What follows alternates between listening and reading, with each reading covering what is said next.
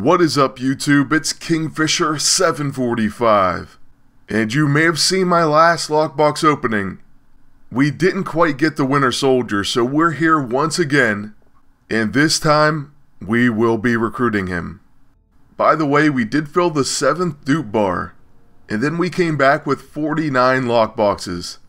It didn't take long because the first 10 is actually going to give us our final cover. That one's Winter Soldier 5 of 8. So I was pretty happy to get him and we didn't quite fill that final bonus bar, though I think we were over half. At this point though, what we're going to do is check out his recruitment, his dialogue, then we'll look at his comic cover collection and his storyline in depth.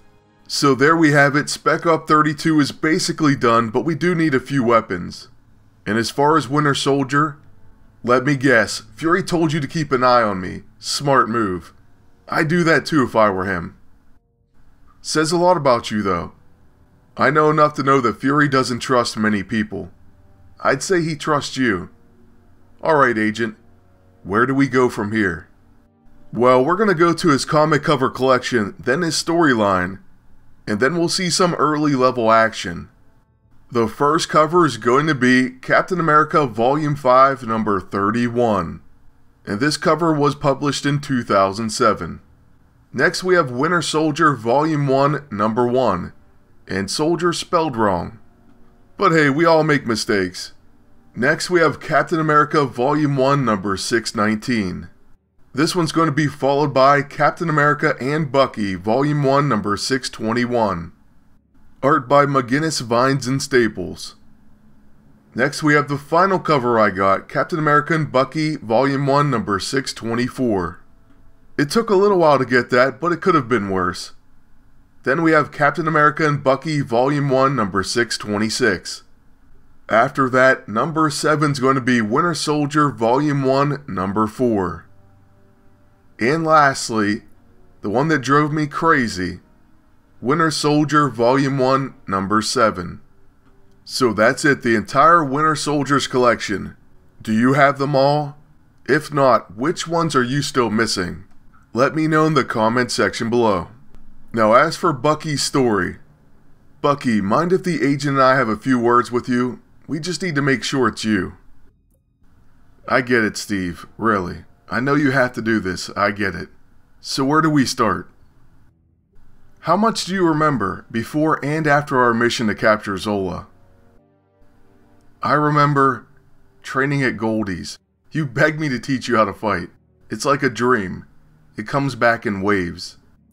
As for my missions after Zola, well, those are mostly blank. I remember the leader, but that may be because of the mental link between us at the time. Steve, I want to help you, but I honestly can't recall much about my time as the Winter Soldier. I know I've done terrible things. I can't ever pay it all back. But I want to try. I know, Buck. You've got my support. Agent, do you mind talking to Coulson and the others? I think I might be too close on this one. Will do, Cap. Alright, so now the only thing left to do is to check him out in action. And here we go against a three-way fight, plus we're using Red She-Hulk. So it's a twofer. We should get plenty of attacks, especially since both these characters really aren't that tough right now. Winter Soldier being a level 1. And Red She-Hulk, well, she's not bad, but she's not OP at all. After we dot up the first wave, the Hand Dragon's gonna use Harness Chi and attack my agent. That gives us an extra turn because of the Dark Energy Blade. So let's just say he made a mistake. Next up, we're going to use our level 2 from Red She-Hulk and that does apply flanked. So with our one and only attack aim shot, it has advantage, causes pain and hobbled, and most importantly gives him retaliation. We should definitely be seeing quite a few counters in this fight. Also, that's not bad damage, especially coming from a level 1.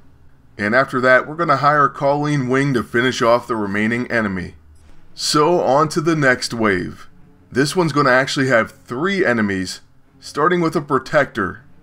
Unfortunately, we do have to recharge with my agent. But right after the Hitman attacks, he does take a retaliation from the Winter Soldier. The same thing goes for a Hand Dragon. So as you can see, he's definitely going to retaliate if someone attacks his teammates.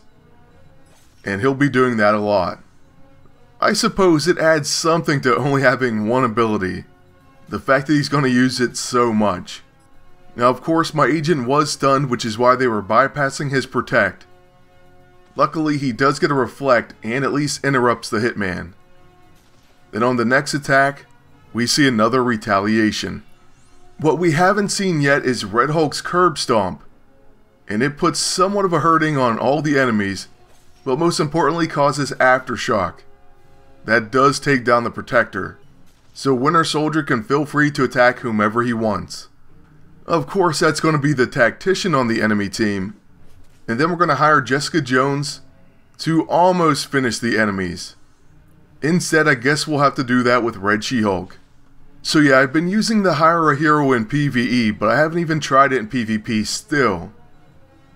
And I just don't think it's going to be that great. We'll see though, I'll try it out eventually. But for now, I think it's just going to be a PvE edition, unlike the Lantern of Doom. But stamina is an issue, so we're going to have to recharge once again.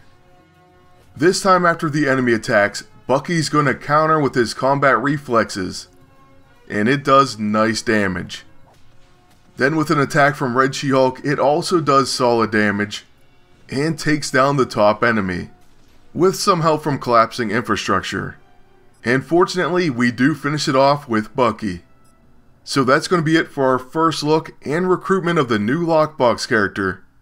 I hope you all have luck in getting him, and we'll be back with an all new All Hail the King episode tomorrow.